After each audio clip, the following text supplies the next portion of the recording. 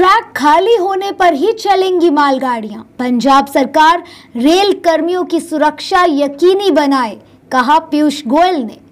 पंजाब में मालगाड़ियाँ रोके जाने के बाद मुख्यमंत्री ने रेल मंत्री को पत्र लिखकर मामले में स्वयं हस्तक्षेप करने की अपील की थी।